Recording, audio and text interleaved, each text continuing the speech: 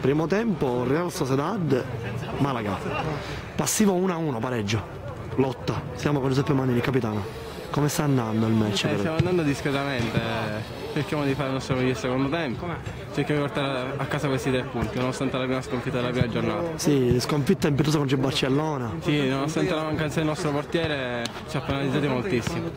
Cerchiamo di fare bene quest'oggi. Obiettivi? Quest'anno? L'obiettivo cercare di raggiungere magari tra i primi quattro posti. Per andare più avanti. Va bene, grazie, buona partita, in bocca al lupo.